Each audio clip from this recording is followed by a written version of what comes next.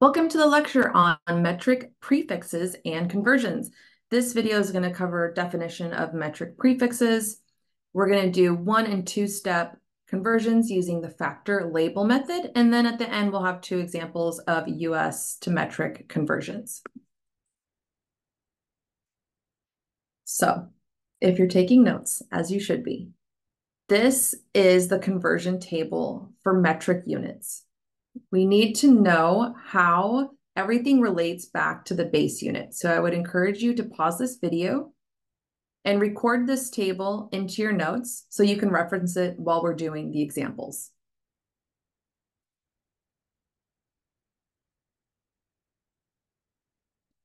So let's look at this example, a one-step factor label method problem where we're going to convert 3.2 liters into milliliters. So we need to know what our factor is. How many liters is equal to how many milliliters? Here's what was given in the table. The prefix of milli, m, gives us the factor that one liter is equal to 1,000 milliliters. So that's the factor that we're going to use. We're, we're going to use the process of taking our quantity over one and multiplying it by our factor. That's going to allow us to cancel units then we'll multiply to get our final answer. So we have two potential setups here. We could take our quantity, 3.2 liters over 1, and we could multiply it by 1 liter over 1,000 milliliters. Or we could take our quantity, 3.2 liters over 1, and we could multiply it by 1,000 milliliters over liters. So we need to think about what is going to allow us to cancel. In the setup on the left, this is an inappropriate application of the factor or rate because we do not have the top bottom pair of liters. We can see that the unit of liters are both on the top. And so this will not allow us to cancel out liters.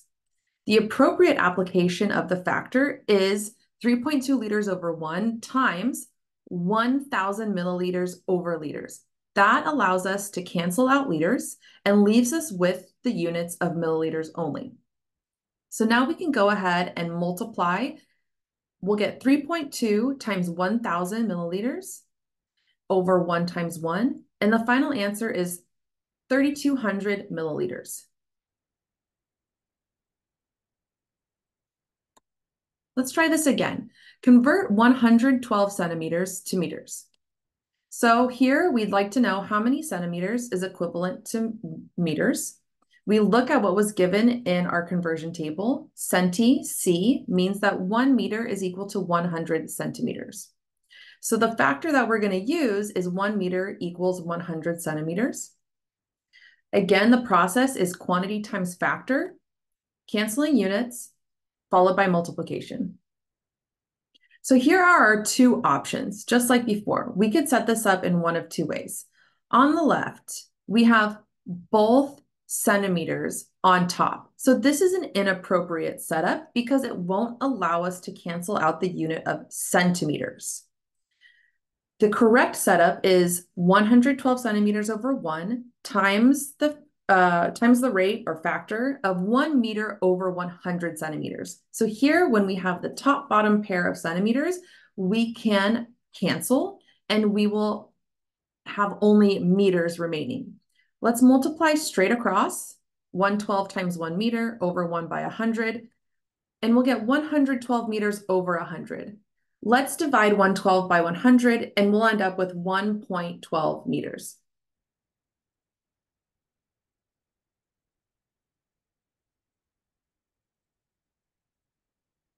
Here's an example where we're going to have to apply a conversion factor two times. We're going to compute the number of milliliters in 72.8 decaliters. So our first, our first factor is going to go from decaliters into liters. Here, deca is given by dA, and it means one decaliter is equal to 10 liters. So our factor is one decaliter equaling 10 liters, and we can apply that in a fraction, decaliters over liters or liters, liters over decaliters.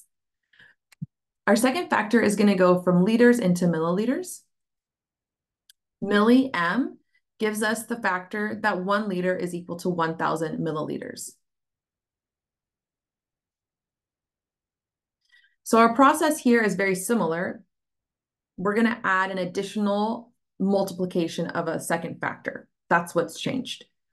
So we have our quantity, 72.8 decaliters. I need decaliters on the bottom. So here I'm going to set up my factor of 10 liters on top and one decaliter on the bottom. And this way, I'm going to have my decaliter, decaliters cancel. That was the application of the first factor. So now we're applying the second factor, 1000 milliliters over one liter. And again, having liters on the bottom allows us to cancel out liters and it leaves us with milliliters, which is exactly what we want. So I multiply straight across 72.8 times 10 times 1,000, and the surviving units on top are milliliters. On the bottom, no units are left, which is good. and we just have one times one times one. So we get 728,000 milliliters as our final answer.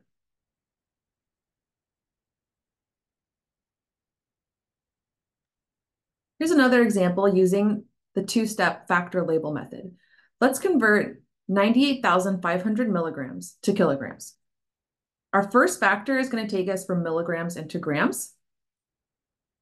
From our table, we see that our factor is 1,000 milligrams equaling one gram. And our second factor is going to go from grams to kilograms. From our table, we have 1,000 grams equals one kilogram. We're going to apply the same process. Quantity times factor one times factor two, cancel our units and multiply. Our quantity is 98, 980. Hmm?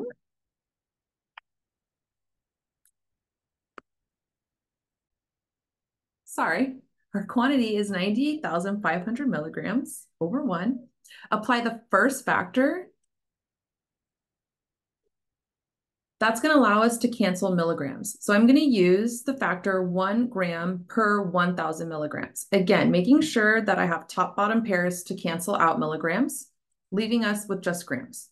So next I'll apply my second factor and that's going to give us the cancellation of grams. So we need to make sure that grams is on the bottom in this case. One kilogram per 1000 grams. Let's multiply straight across 98,500 times one times one Surviving units are kilograms. In the denominator, 1 times 1,000 times 1,000. So this is 98,500 divided by 1 million, and the units are kilograms. In your calculator, take 98,500, divide by 1 million to get 0.985 kilograms. And this is our final answer.